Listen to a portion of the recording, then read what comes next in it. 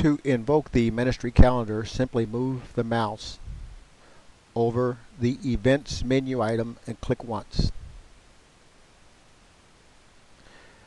This is a dialog that we use to review upcoming as well as past events. As you all notice, there is a calendar control here. And um, depending on which direction you want to go, you can either go forward one month or backward one month. And uh, you need to pay careful attention to these date ranges down here. If this is not the particular date range that you're looking for, all you need to do is click on the No control and then it prompts you to select the start date. We want to start on the 29th of June and we want to end on the 6th of July.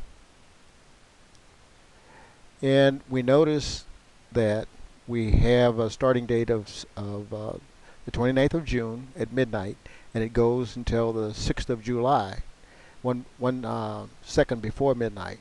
That's a valid date range, so we go ahead and click yes. Then we have uh, the possible events that are within that date range. As you will notice right here, we have uh, the opportunity to scroll more than one page. Uh, this one particular page contains 10 items. That is a default for our website. And uh, if there's more than 10 items, you will see um, this uh, indication down here on the page select control.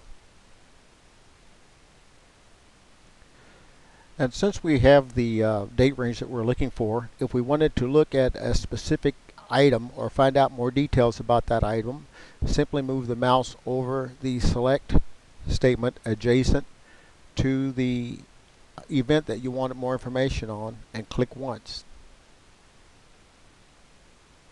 Here you would find out details like uh, more information about the ministry, who the chairperson was, and possibly a phone number.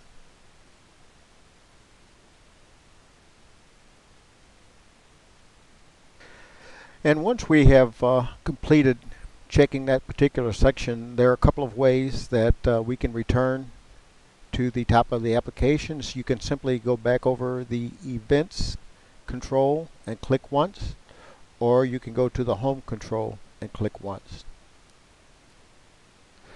And this will conclude our tutorial on using the ministry calendar.